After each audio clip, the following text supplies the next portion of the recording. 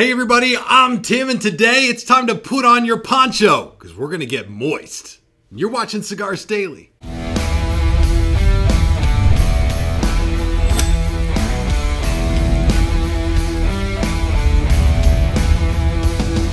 Get more out of this in all our videos when you join the community on Cigars Daily Plus. And for this video, I just lit up the brand spanking new Plasencia Almafuerte Natural Robusto size that features 10 year aged leaf. This is exactly the kind of cigar where you want to have your humidor's humidity dialed in because you want it to be in damn fine condition when you go to light it up. The foundation to an excellent experience with any cigar starts with great humidification.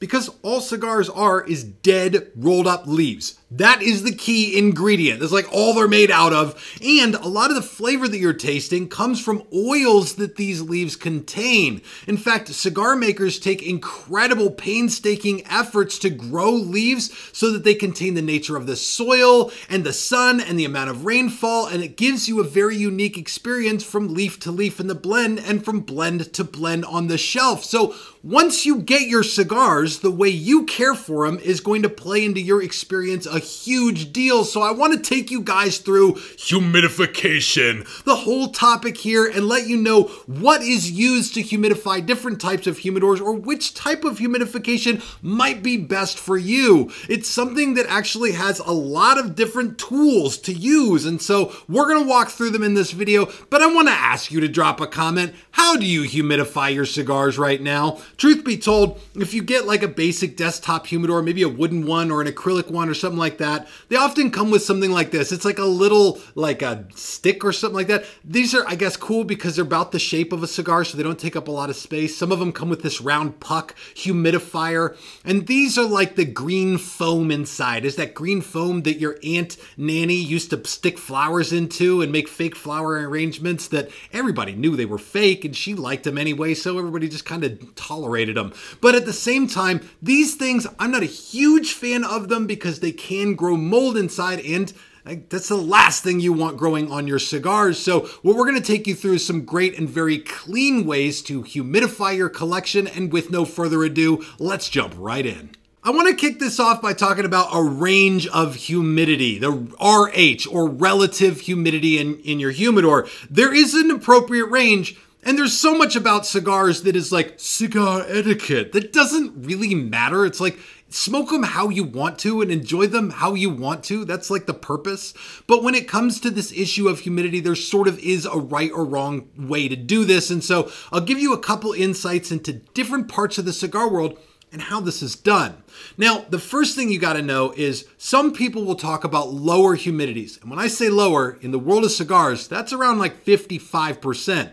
And there is a time and place for a lower humidity like this. In the aging rooms in a lot of cigar factories, they'll use some lower humidities because they're trying to reduce the moisture in the leaves before the cigars get packaged up in box. Some people swear by 55% humidity is the right and only way to store Cuban cigars because they're so special and different than all other cigars. I think that's a little bit of malarkey, but I will tell you this when it comes to lower humidities, it's something I've found myself favoring, especially in recent years, as I feel like I get more flavor out of cigars when I light them up, as opposed to having cigars that are a little bit wetter. Now, when I talk about wetter, that's sort of what feeds into, I guess, your your regular consumer range of, of humidities. Most people, if you go into a cigar shop and you go up to the clerk and you're like, what's a proper humidity for my humidor? They're to tell you it's somewhere between 65% and 72%. And that is a pretty damn good range. Some people will talk to you about a magic 70 70 rule where you should keep your cigars at 70 degrees Fahrenheit and 70% humidity, and that's the perfect one. The truth is, there is a huge matter of preference here, and actually, a pretty big difference between 65% and 72%.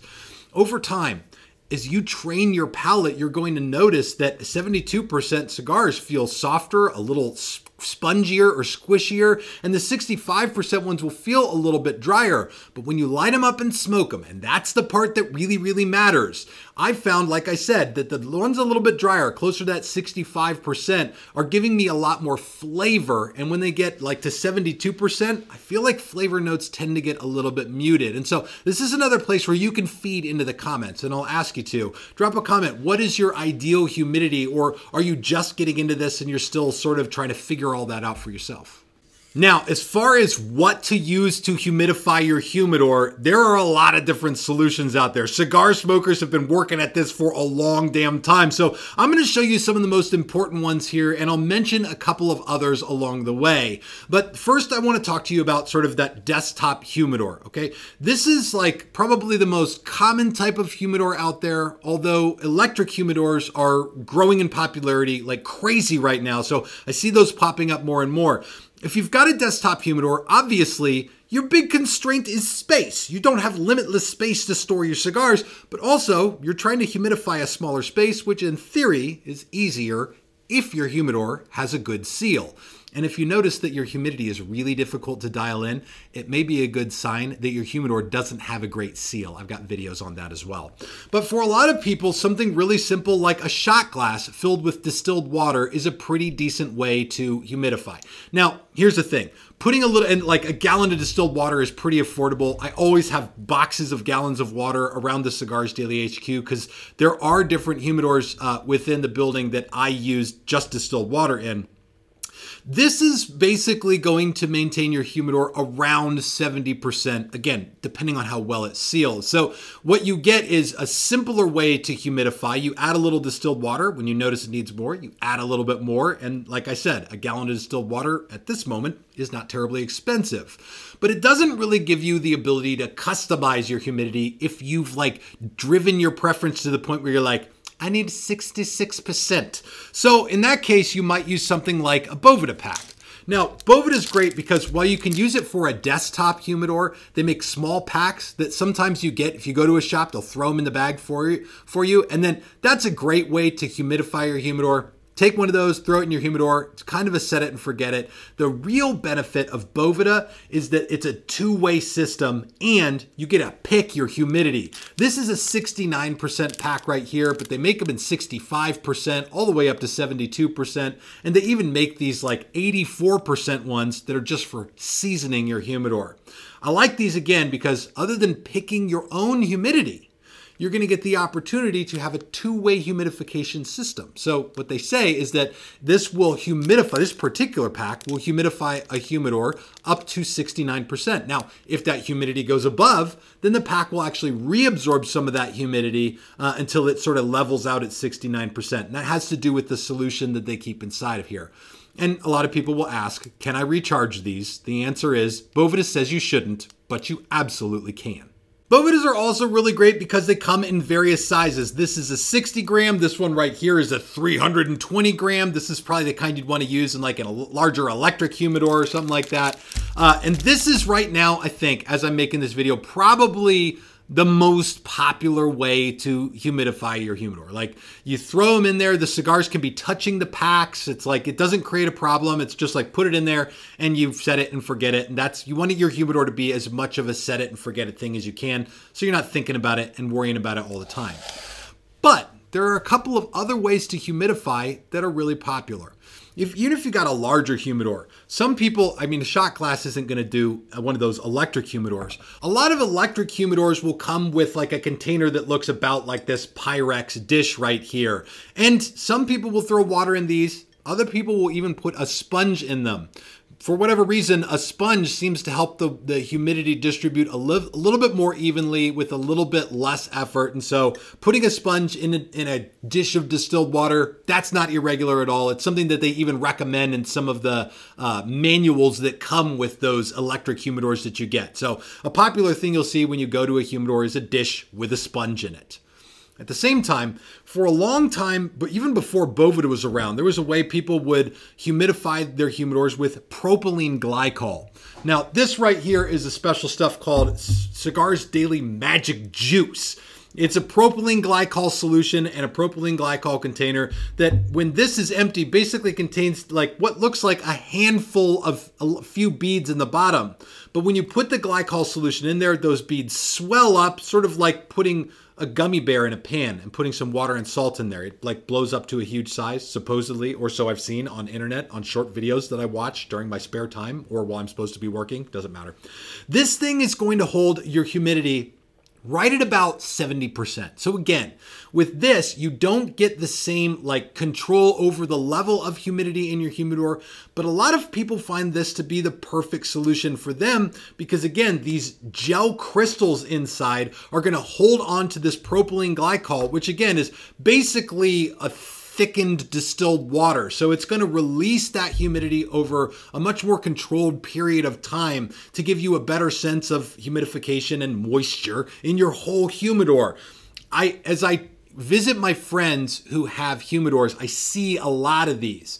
And I see a lot of them, especially with people who have mid to large size cabinet humidors, sort of like the one over my shoulder right here.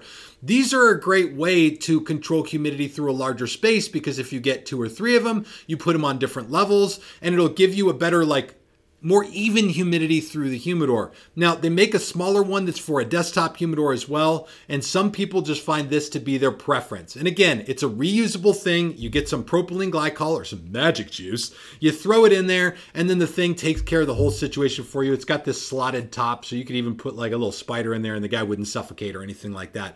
This has been a very popular way to go, and again, it's going to control it right about 70%. Now, there is one other solution I, I have to mention in this video before I can move on, and that is cat litter. You heard me right. Cat litter. Kitty litter, the same stuff your cat pees in, the clumping kind. Don't even know if it's clumping, but there is a specific type of like crystal gel cat litter that works not dissimilar to sort of the crystal jars over here that some aficionados absolutely swear by. You can read about this in forums. I think they even have a specific brand they recommend. Uh, there's also a specific type of gel bead that you can get off Amazon. There's other kinds of solutions that people use to specialize for themselves. But if you want a sort of out of the box solution where you don't have to do a bunch of reading and a bunch of studying and dialing it in and everything, it's they're basically variations of the crystal gel jar, whether you're using beads or cat litter but yes, some people do that. Now, the ultimate in humidor control comes in an electronic humidifier with a remote hygrometer. Now, there's a brand that makes these called Cigar Oasis. They make a fantastic product that you can put in. A, I have one in this humidor over my shoulder. It's basically a shoebox, and the thing's got a fan on top. You fill it with distilled water, and it blows the fan into the distilled water, which blows out the moisture. It's also got a connected to a remote hygrometer, so it will actually turn itself on if the humidity drops down too low, and it will turn off once it reaches the desired humidity. So again, a great solution there for a larger cabinet humidor, but really one of the key features, and, and this is important only if you're shopping for something right now, if you're looking for an electric humidor, the mid tier humidors, some of them are now coming with a built in humidification system. And that's not a bad way to go at all. I have one at my house. I've got one in my office. They're, they're built into the actual humidor and they regulate themselves. They pump out humidity. So you basically set it on the screen and you say, I want my humidity to be 66%. And you hit go. You tell it what temperature you want. And then all you ever have to do is add water. It's a very simple way to keep your collection in tip top shape. And again, this topic of humidity is such a big deal, partly because there's so many different kinds of humidors out there, and partly because it's so important to enjoying the cigars that you buy with your hard-earned money. And for that reason, there's one other thing you gotta have. If your cigar humidity is sort of like having gas in the car or having bait on your, you know, fishing hook, then having a digital hygrometer is like having a gas gauge in the car or maybe having the fishing hook. This is something that I'm surprised at how many people I talk to who have had a cigar collection for six, eight months, maybe even a year. They're asking questions about humidity. And the first thing I ask them is, do you have a digital hygrometer? Do you even know what the humidity is inside your container? And they don't because they don't, they've never even thought of getting one of these. There are lots of ways to go, but a basic digital hygrometer, which by the way, much better than an analog hygrometer like this one up here. A digital hygrometer is going to tell you exactly where your levels are at. This one right here tells you temperature and it tells you humidity. That is so important because that kind of data is going to let you know if you have an issue and which way your issue is. Are your cigars over humidified or are they under humidified? Is something else? Are you having mold? Those problems can stem from having too much humidification. Even cigar beetles, these things can come from sudden shocks to humidity or temperature in your humidor. So if you see temperature and humidity jumping throughout the day as your AC kicks on or off, or maybe the thing is too close to a window and the sun comes up, suddenly you got issues and they're easy to diagnose once you start to understand this topic and get the solutions that you're really looking for.